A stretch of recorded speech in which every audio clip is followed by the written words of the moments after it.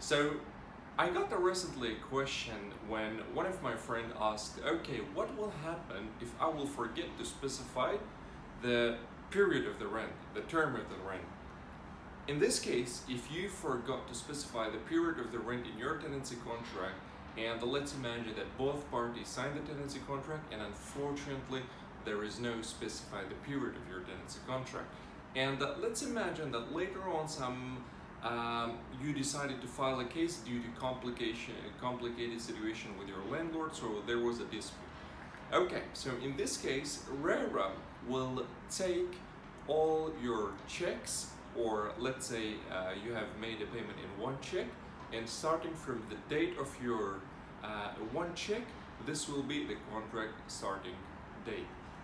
And there is an one law which regulates it, uh, it's a law 26 of 2007 and article 5 says that the uh, the term of the lease contract must be specified. Uh, in case if the term is not specified or it's, or it's impossible to prove so then the contract will be valid for the period of the uh, rent payment. For example let's say you have rented a property for 100,000 and uh, let's say you have given a post-dated check and the checks uh, the check date is on 5th of February, for example.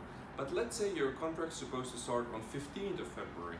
So in case if your lease contract there is no specified term, so your if you make a complaint or file a case or you approach a RERA or tribunal, so they will make your lease contract starting date 5th of February till 4th of February because your first rent payment starts from 5th of February. So that's it, hope it was clear. Thanks a lot.